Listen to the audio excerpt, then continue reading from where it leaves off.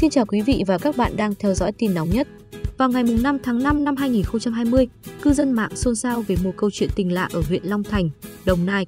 Hai nhân vật chính trong câu chuyện này là cô dâu Nguyễn Thị Hoa, lúc đó 65 tuổi, và chồng trẻ ngoại quốc Aziz Ur Rehman, hay còn gọi là Johnny, người Pakistan, 24 tuổi. Nhiều người không tin chuyện tình này cho đến khi tờ giấy kết hôn được chia sẻ. Thời điểm đó, những người đồng thuận với cặp đôi thì ít mà chửi bới, chê trách và phản đối thì quá nhiều. Chia sẻ về tình duyên với anh chồng ngoại quốc, cô Hoa cho biết vào năm 2018, Johnny bất ngờ kết bạn với cô trên Facebook. Sau vài ngày nói chuyện, anh nói anh thích tôi, dù tôi chỉ coi anh ấy là một cậu em, nhưng anh ấy không chịu. Anh ấy bảo bên nước của anh không quan trọng tuổi tác, miễn tâm hồn biết thương nhau, sống vui vẻ, hạnh phúc là được rồi. Cô dâu 65 tuổi cho biết cả hai đã đăng ký kết hôn nhưng chưa tổ chức đám cưới. Cô cũng chưa qua Pakistan để thăm gia đình chồng nhưng chuyện tình cảm lệch 41 tuổi của cô được các con cháu trong gia đình ủng hộ. Không những vậy, bố chồng cô cũng tác hợp cho con trai và con dâu hơn nhiều tuổi. Thế nhưng, từ khi nổi tiếng bất chợt trên mạng xã hội, cuộc sống của cặp đôi này đã bị đào lộn bởi nhiều ồn ào không đáng có. Đặc biệt có những sự cố oai oăm đến mức nhân vật chính cũng không lường trước được.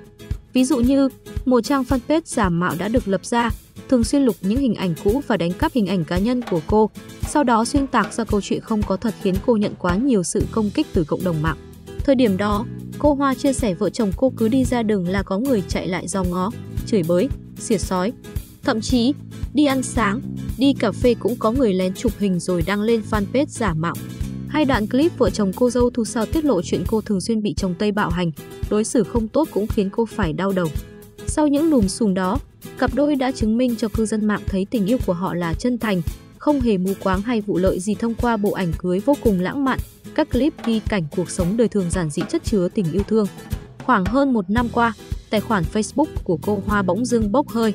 Những trang fanpage giả mạo mang tên cô dâu 65 tuổi cũng không cập nhật gì về cuộc sống mới của cặp đôi từ giữa năm 2020.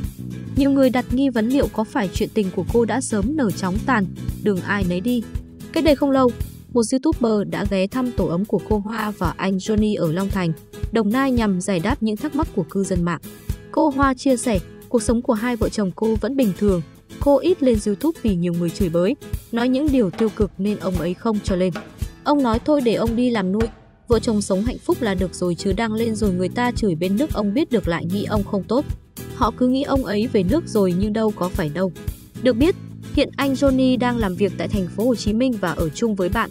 Buổi tối anh đi thông dịch cho nhà hàng, ban ngày dạy tiếng Anh cho trẻ. Cứ mỗi tuần, chiều thứ bảy anh Johnny lại về nhà thăm bà xã, sáng thứ hai anh đi sớm. Trước thông tin cô Hoa và anh Johnny đến với nhau vì vật chất, vì cô lắm tiền nhiều của, cô Hoa đã phủ nhận và cho biết mình đã chấp nhận lấy làm chồng rồi thì mấy tháng đầu, họ qua đây thất nghiệp thì mình nuôi họ. Vợ chồng với nhau thì chuyện đó đâu có tội nợ gì, nhưng tầm một năm mấy nay là ông ấy đưa tiền mít cho cô.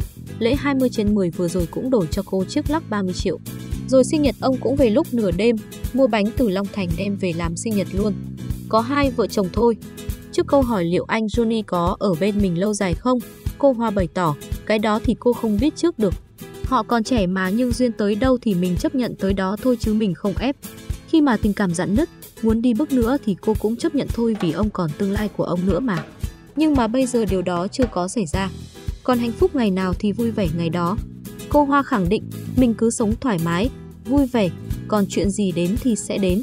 Cô nhắn gửi, mình sống cho mình là chính, kể ai muốn nói gì thì nói nhưng sự thật vẫn là sự thật. Hiện bây giờ cô vẫn đang hạnh phúc bên ông xã. Hãy đăng ký kênh và để lại bình luận để được cập nhật những thông tin mới nhất từ tin nóng nhất. Hẹn gặp lại quý vị trong những video tiếp theo.